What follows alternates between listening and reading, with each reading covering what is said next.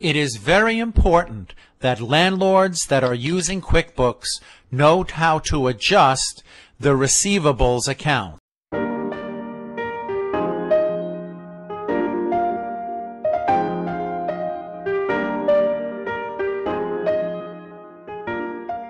Tenants with different payment arrangements can be separated into separate accounts receivable accounts. Those who pay in advance can have all their invoices and payments recorded in the unearned rent account, which is a receivable type of account.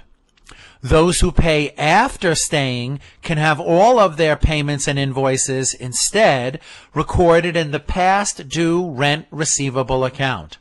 Keeping them separate will make sure that all your records in QuickBooks are accurate at any given moment. However, what if a good tenant starts to pay late? Well, if someone who used to pay in advance once in a while is paying late, that's not really a problem. You can keep doing the same thing in the same way for about one or two months and give this tenant a chance to catch up and get on their feet.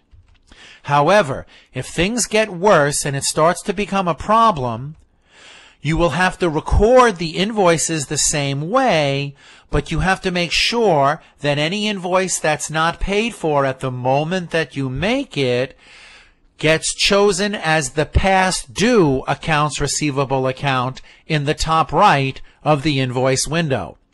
So exactly what you learned in the previous video is exactly what to do if a tenant who used to pay in advance now starts paying late.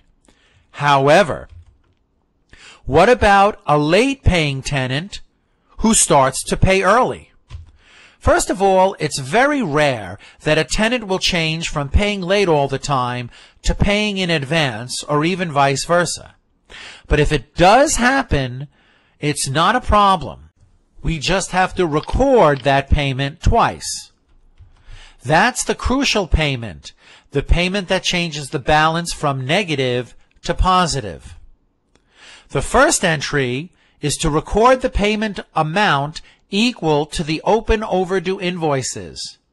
So in the first entry, you have to make sure that the receivables account is the past due account because that was the accounts receivable account that those overdue invoices were originally recorded in. So if those are the ones you're paying off, it has to come out of the same accounts receivable account. The second entry, record the remainder as a normal credit the way we did it early on in the course. In that case, for that second entry, make sure the receivables account is the unearned rent account. This will be easy when I show you the example. Let's imagine on March 20, Johnny pays $3,150 for both past and future rent, and he gives check number 847. We know that Johnny pays 700 a month. We know that the first 1,050 of that big March 20 payment is paying the past due invoices and we know that the remaining 2,100 is unearned rent that Johnny will use in the future. So how do we do this? Well, it's no problem. It's easier than you think. Record the payment that makes the balance change to positive two times. And in this case, the balance is changing from negative to positive. So on this March 20 payment, we're going to record it two times. The first time, when we pay off the past due amount, we have to make sure that the past due receivables account is chosen in the top of the window. Then the excess gets recorded in the second entry we make as unearned receivables. If we receive the payment, we open the payments window. Johnny gave check number 847 and the tenant was Johnny in 5C, and the date that he gave us that was March 20 of 2017. Now, this is only the first of two entries for check 847 from Johnny on March 20. So for the first one, we can see that he has a balance of 1,050 So we enter the first one with 1050. When we push the tab key, you can see that the two overdue invoices have been perfectly paid off. You should make good use of the memo field down at the bottom and type into the memo field an explanation that this is only the first of two entries for the same check from Johnny on the same day, and they're both basically the same transaction. And of course, you do have to make sure that if they're paying the past invoices, which Johnny is in this first entry, you choose past due rent receivable, which was already there because QuickBooks remembers the accounts receivable account per customer.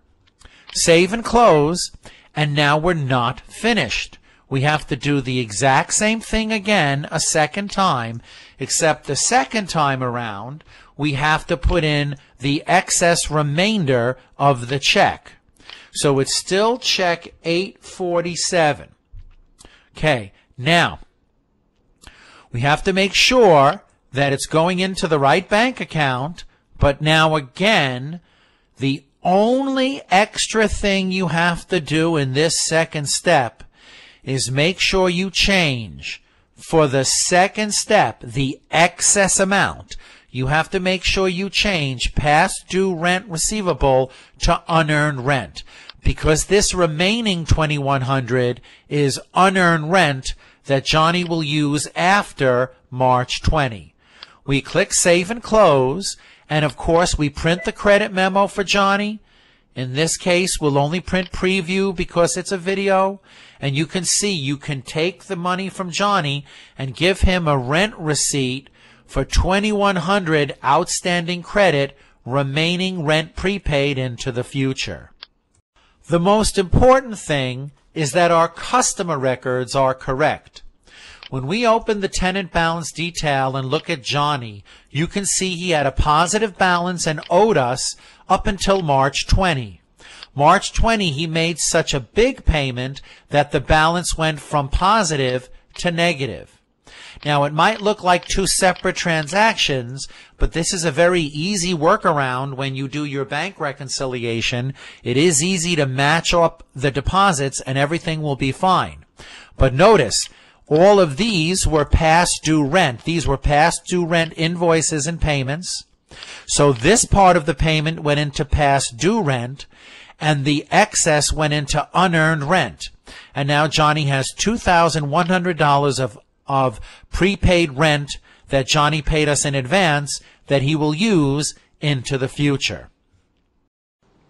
Now, of course, someone will ask, what if you keep forgetting to change the receivables account? So in our example, the March 20 payment was for both past and future rent, and let's imagine I forgot to change the receivable account.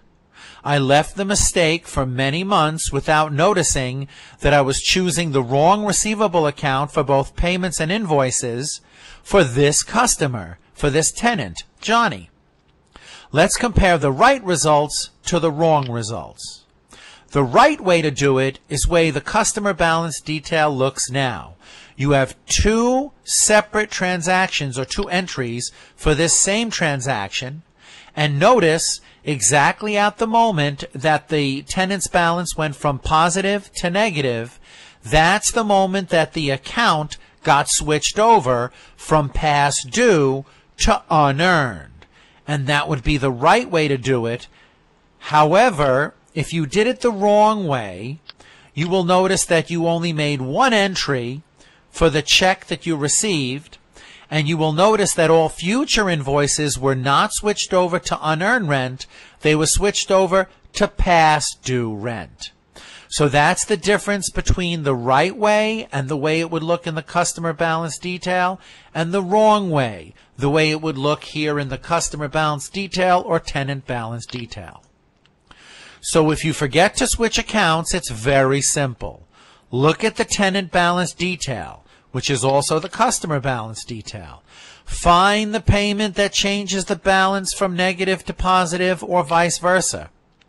Fix it by making two separate entries like we showed and make every following invoice go into the unearned rent income account. So let's take a look how to fix the wrong one. So here we are in QuickBooks. We open the tenant balance detail, which is the same as the customer balance detail. Now the first thing you should do is change these invoices from the past due rent to the prepaid rent or the um, unearned rent. Double click, change this to unearned rent, save and close, and yes. Double click this one, change it to unearned rent, click save and close, and yes. Now regarding the payment, you can delete it and re-enter it. Delete, Click OK. Now let's re-enter it. March 20 of 2017, it was this tenant. It was the same check, 847. It the first money amount was 1050 because you can see the 1050 is the remaining balance. Okay, let's fix this. 1050 because that's the balance when the past due rent is selected as the receivable account. Okay, so we'll let this pay off what's past due. Save and new, put in the same tenant on the same day with check 847, same check, but this time you're going to choose unearned rent and notice that these invoices are for unearned rent.